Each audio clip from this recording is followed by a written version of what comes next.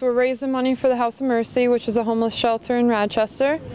And they provide um, hot meals services and anyone anyone comes into the shelter basically no there's no requirements or anything like that it's anyone who's homeless can just come right in and they start getting services and they they feed them right there. We're also here to raise awareness of homelessness in general, not just raise money for the shelter, hence all the signs. So this way college students are aware that they could become homeless. It's not just something that happens in the city that people avoid noticing.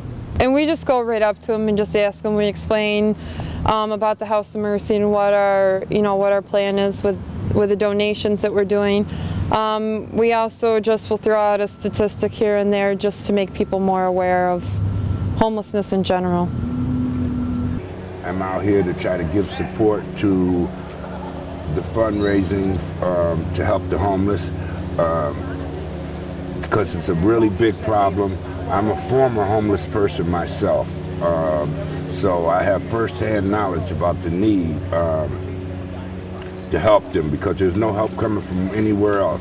The, the, the Department of Social Services, different organizations, um, they're not really reaching out to the um, homeless people. The numbers are increasing instead of decreasing. Um, I just feel that I have to not forget that I was homeless and I have to come out here and, and, and, help. I started standing and some people would completely ignore me. I got a 20 from one kid, a 10 from a couple. Some would run through the grass to avoid me. Um, so the second time I sat on a blanket with a sign and I got a few laughs and a few bucks, but I think most people try and run away, but we've been doing it. We haven't yeah. been doing too bad. A thousand dollars will help the House of Mercy. Um, there's a list of things, but the big thing with a thousand dollars, it'll provide 365 hot meals, I do believe it is, and there's also a variety of services that they offer.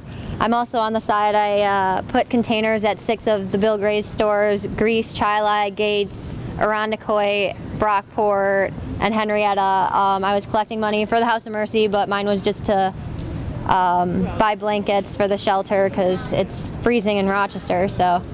With the $500, that will buy a lot of blankets. I think we figured out maybe, what, 40 or something like that? Yeah, we 40. might, around 40 blankets. So 40 blankets could help out, you know, 40 individuals. Just being here and going through it, experiencing it for myself is a whole different Yeah, whole hopefully we'll have some other people experience, experiencing it with us. Uh, it's pretty sunny right now, but it's supposed to be cold tomorrow, and we're going to be here till 4.